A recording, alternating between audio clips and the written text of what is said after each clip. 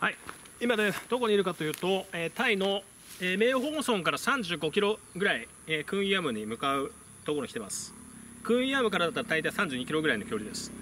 で、そのメイホーソン、クンイアム結ぶ道路のところ、たまたまね、クンイアムに今、バイクを借りて行ってきて、でメイホーソン帰るところです。で、見つけたのがね、たまたま走ったら日本語を見つけました。で、ここ見ると、日本兵士鎮魂の塔となってます。先の大戦でね、えビルマ戦線でインパル作戦で、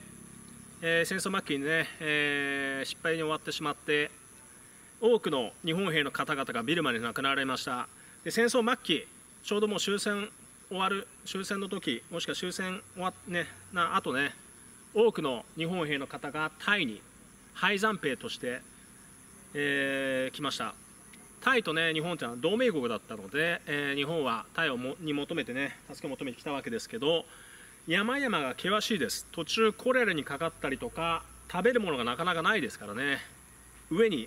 飢えて亡くなられた方もいっぱいいらっしゃいます。もしくはサソリとかね毒蜘蛛とかいっぱいいますからそういった意味でもいろんな意味で亡くなられ方が多いわけです。生き残られた方も結構多いんですけど、えただ亡くなる方が多い。ということで先ほどね合唱させていただいたんですけど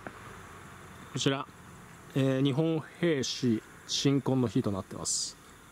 でこちら仏塔ね。で誰かがね多分タイの人が来て証拠をしていただいてます。ありがたいですね本当に。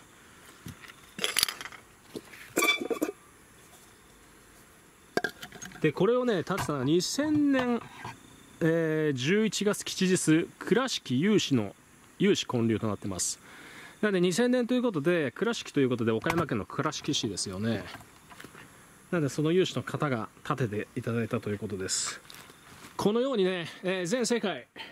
全世界って言っても大東亜戦争の土地なんで基本的にはアジア中心なんですけど、えー日本兵が亡くなられた、ね、慰霊の地慰霊碑なんか結構あります。皆さんぜひね慰霊で訪れる場合私も今慰霊でね多くの場所を訪れてますけど ここに関してはねなかなか見つけられないと思います、えー覚えておいていただきたいもし来たいのであればバイクか車をレンタルしてメイホーソンから35キロ地点クンヤムに行ったところです。もしメイホーソンから来る場合だったらこっちに進むのでこっち側見てないとダメですけどね。なかなか見つからない。右を見ててください。でクンヤムから来ればたまたま気づいたんですけどね。こっち側にあるんでね。わかるんですけどね。まあ本当にぜひとも皆さん多くの方にね慰霊参拝していただきたいと思います。